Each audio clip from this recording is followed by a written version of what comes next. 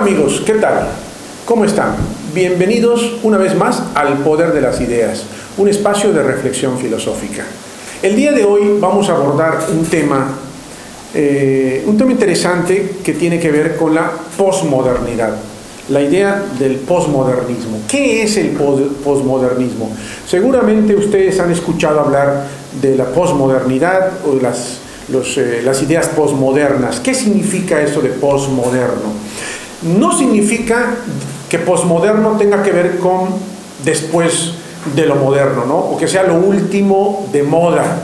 Significa una postura filosófica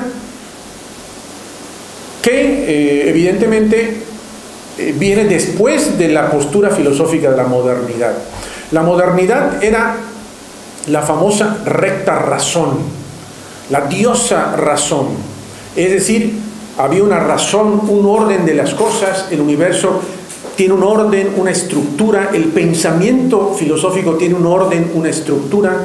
Con la posmodernidad se viene a romper esta idea de este orden, de esta razón, como, el común denominador de, nuestros, de los días. Ahora el, posmodernismo, el pensamiento filosófico posmoderno, tiene que ver con la sin razón. La, si la modernidad era eh, la diosa razón, el posmodernismo, el posmodernismo tiene que ver con vive y deja vivir. Es decir, ya no hay razones estructuradas, ya no hay razones lógicas. El universo se ha modificado para la posmodernidad. El pensamiento posmoderno tiene dos características fundamentales. Primera, subjetivismo. ¿Qué significa esto? Es decir, ahora es el sujeto el que interpreta las cosas.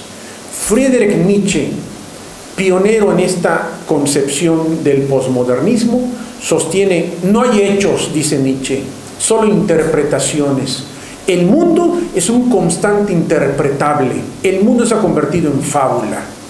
Ahora todas las personas para el pensamiento posmoderno tienen una forma de interpretar lo que ven, una forma de interpretar, por ejemplo, en el arte, el, arte posmoderno tiene que ver con formas diversas de interpretar para el artista la, realidad o lo que él quiere expresar en su óleo, lo que él quiere expresar en su obra de arte.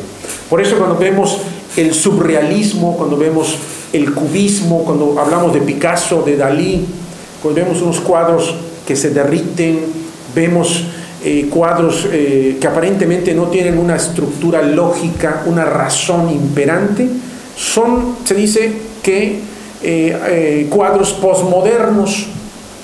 ¿Por qué? Porque el autor es una forma en que el autor interpreta el arte, interpreta lo que él siente y lo que él quiere expresar en ese arte.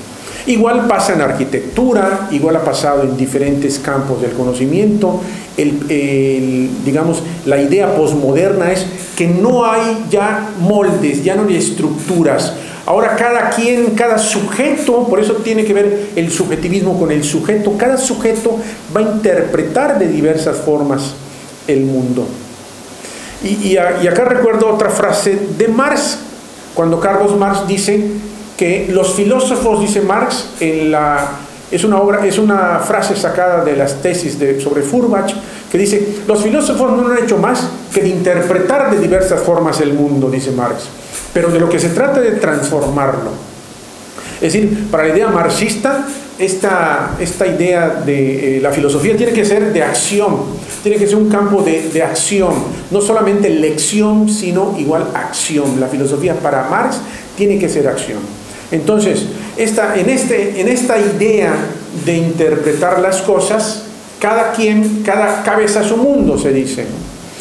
Entonces, eh, ese es el primer elemento, el elemento de la subjetividad o el subjetivismo. El segundo elemento tiene que ver con la relatividad, es decir, el relativismo.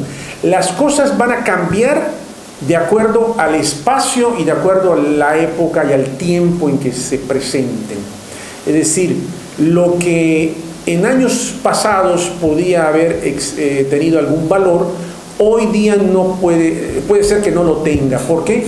Porque el, el espacio porque el tiempo ha cambiado lo que nosotros pensábamos que era, que era una verdad inobjetable. Hoy día, por ejemplo, se hablan de eh, diferentes formas de relacionarse entre los seres humanos, se habla del poliamor que veíamos en la sesión pasada, se habla de varias, de varias cuestiones que hoy día son pues ya, eh, digamos, susceptibles a ser analizado, a ser discutido, a ser eh, planteados por ópticas diferentes de entender la realidad, de entender, digamos, las cuestiones cotidianas que anteriormente ni siquiera se ponían en duda, porque era un conocimiento, digamos, eh, que ya eh, estaba estático y que no había posibilidad de transformarlos. De hecho, eh, estoy buscando una de las, de las letras de una de las canciones de un tango de Enrique Santos Discépolo